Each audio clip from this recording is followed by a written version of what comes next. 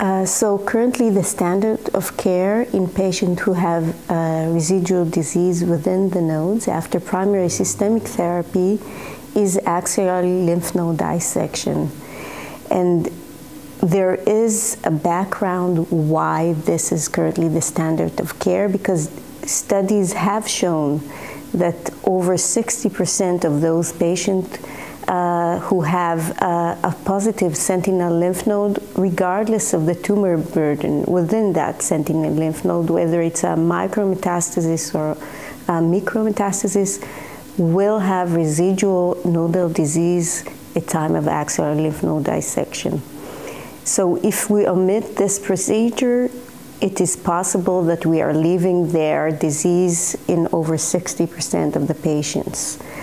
But we shown in the debate that um, residual disease is not similar to every patient. Some patients with residual disease won't have a high risk for regional recurrence. And uh, since we have now better imaging for patients, we can diagnose them actually at an earlier stage or earlier tumor burden. And some of the patients might not completely benefit from axillary lymph node dissection. So we have a, a, few ongoing randomized control trials trying to prove this point because we want, we all know that the aim is to cure breast cancer patients. So we need to be very cautious before we change the standard of care.